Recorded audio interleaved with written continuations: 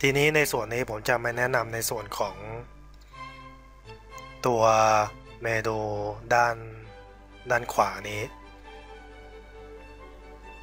ผมจะแนะนำในส่วนหลักๆ ที่ผมใช้ประจำนะครับ อันแรกเลยก็คือมาดู คือตัววงกลมด้านบน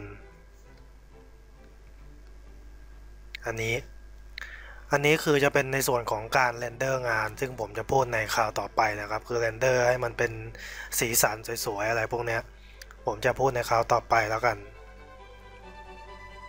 แล้วก็มาส่วนนี้ อันนี้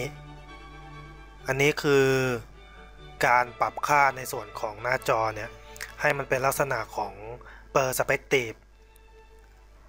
แล้วก็เป็นการปรับเปลี่ยนให้เป็นperspective กับ isometric เดี๋ยวผมจะกดให้ดูว่ามันต่างกันยังไง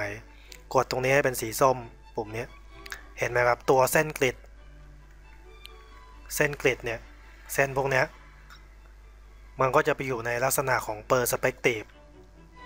perspective ก็คือการมองในเส้นมุมสายตาอย่างเงี้ยครับสองข้างกันหนักเข้าไป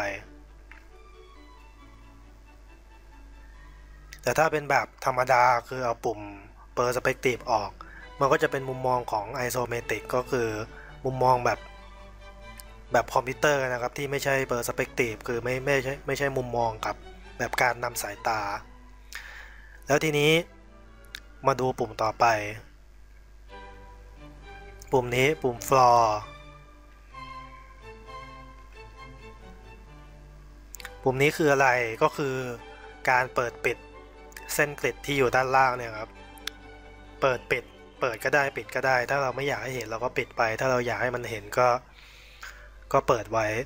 ไอเส้นกริดพวกนี้มันจะมีความสำคัญในส่วนเวลาที่เราเด่นเด่นชัดๆมาก ๆ ตัว y นี่คืออะไรตัว y ก็คือแกน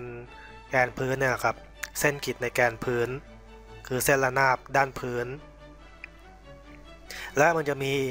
ตัวอื่นอีกก็คือตัว x ใกล้ๆกันใกล้ ๆ กับตัว y ต้องสังเกตดีๆนะครับเพราะตัวตัวมันเล็กมาก คือจะมีตัว x แล้วก็ตัว z อยู่ข้างๆตัว y ให้เราใช้เมาส์กดไปที่ตัวตัว x เส้นกริดด้านข้างก็จะเกิดขึ้นมาเหมือนกัน เนี่ยครับดูด้านตรงก็ได้จะเห็นชัดจะเป็นด้านด้านพื้นแล้วก็ด้านข้าง แล้วถ้าเรากดตัว Z ขึ้นมาอีกตัวหนึ่ง มันก็จะปรากฏเส้นกริดด้านหลังขึ้นมาอีก เส้นกริดนี่บางทีถ้าปั้นอะไรทั่ว ๆ ไปเขาก็ไม่ค่อยใช้กันนะครับ เพราะว่ามันโลกหูโลกตา แต่ถ้าแบบใช้งานกับงานที่ต้องการความแม่นยำสูง พวกสัดส่วนพวกสเกลอะไรพวกนี้ไอ้เส้นพวกนี้มันจะมีความสำคัญพอประมาณ ก็เหมือนกับการวาดรูปทั่วไปครับที่ใช้การตีสเกลเส้นอะไรพวกนี้แล้วถ้าต้องการปิดไปก็ปิดกดตัว x ออก กดตัว z ออก ให้เหลือแต่ตัว y ตัวเดียวก็ได้ หรือไม่ถ้าถ้าต้องการไม่ไม่ให้มันขึ้นเลยก็กดปุ่มนี้ออกไปปุ่ม floor ตัวเส้นกริดมันก็จะหายไป ทีนี้มาดูในส่วนของ และทีนี้มาดูในส่วนของตัวนี้ตัวเฟรม ตัวเฟรมนี่คืออะไร คือการย่อขยายตัววัตถุอันนี้ทั้งหมด ให้มันเต็มหน้าจอ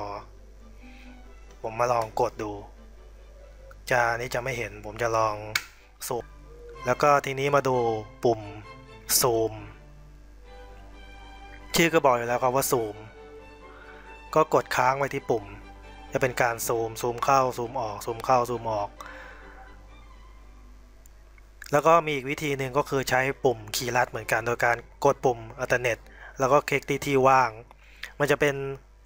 ถ้าปลดกด alternate ค้างมันจะเป็นการเลื่อนโดยใช้ move แต่ถ้าเป็น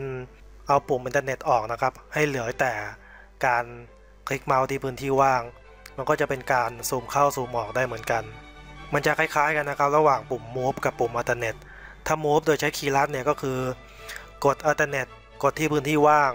ค้างพร้อมกัน แต่ถ้าเป็นการซูมให้ปล่อยปุ่ม alternate ที่คีย์บอร์ดออกจะเป็นการซูมนะครับมันจะทำงานคล้ายๆกัน หรือไม่อีกวิธีหนึ่งก็คือใช้ปุ่มเครื่องหมายบวกเครื่องหมายลบที่คีย์บอร์ดนะครับมันก็จะซูมเข้าซูมออกได้เหมือนกัน ซึ่งวิธีนี้ก็เป็นวิธีที่ผมใช้ประจำนะครับอ่าครับต่อไปคือปุ่มนี้นะครับ ปุ่ม rotate rotate คือรายการหมุน การหมุนตัววัตถุ ก็กดปุ่มค้างไปแล้วก็หมุนหมุน หรือไม่ก็ ไม่ต้องกดปุ่มนี้ก็ได้ก็เอาเมาส์มาคลิกที่พื้นที่ว่าง มันก็จะหมุนได้เหมือนกัน แล้วต่อมาปุ่มนี้ คือเป็นปุ่มของการแสดงตัวโพลีกอนในตัววัตถุ ถ้าเครื่องคอมพิวถ้าเรื่องคอมพิวเตอร์ ไม่ไม่แรงพอนะครับ เพราะบางงานเนี่ยตัวโพลีกอนเนี่ยอาจจะไปถึง10 ล้าน หรือไม่ก็ร้อยล้านเลยก็มีครับ แต่ถ้าไม่เกินหมื่นอย่างเงี้ย มันก็จะไม่มีปัญหาอะไรเครื่องก็ยังทำงานได้ปกติ เพราะมันจะไม่ประมวลผลหนักมาก ทีนี้ปุ่มเนี้ยปุ่มตัวโพลีกอนเนี่ยจะปิดมันทำยังไงก็กดปุ่มเดิม หรือไม่ก็จะมีคีย์ลัดอีกอย่างหนึ่งก็คือกดปุ่มชิปที่คีย์บอร์ดแล้วก็ตัว F ตัวโพลีกอนก็จะขึ้นมาเหมือนเดิม แล้วถ้าอยากให้มันหายก็กดปุ่มชิปแล้วก็ตัว F